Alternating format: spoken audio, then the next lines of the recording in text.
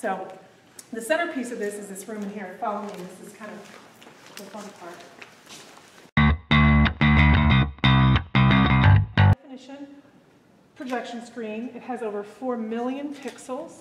It has the ability to broadcast up to nine different TV shows. So a picture nine screens going at once, or the whole thing could be one.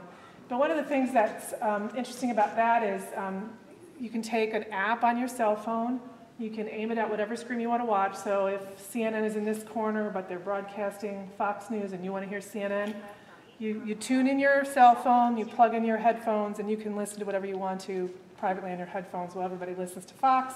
You can get in on CNN or whatever like that. So it's much easier to show when you can see it. Mm-hmm. But it is believed to be the largest high definition screen installed in any college campus anywhere.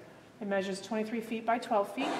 It weighs as much as two Volkswagen Beetles and draws the energy of about four hair dryers, so it's pretty energy efficient. It's pretty cool, and they have Wii and Xbox, and you can play games on it, and the thinking is that down the road, students will reserve it to do film screenings, or uh, if they want to demo games they've made, something like that, so it's pretty cool.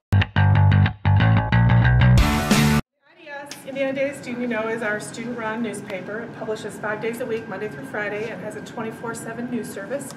Um, I consider the IDS and all the student media, which is going to be located here to be kind of the heart and soul of the media school. So the Arbutus Yearbook, IDS, IUS TV, which is our television station, Inside Magazine, all those student-run media forms will be located right here. And in fact, they're going to be the first to move. They're coming over next week, they're starting to pack up now. So this is Studio 7. It's the Ken and Audrey Beckley studio. And you're welcome to go in and take a look if you like. Studios here. This is Studio 8, and those are radio studios. And those are built for podcasting, radio broadcasting. They are also connected to WFIU, which is our radio station on campus, and they're connected to WIUX, which is our student radio station over on 8th Street. So IU has, last year was voted, WIUX is the number one college radio station in the country. So if you're interested in radio, it's a good station to get involved with.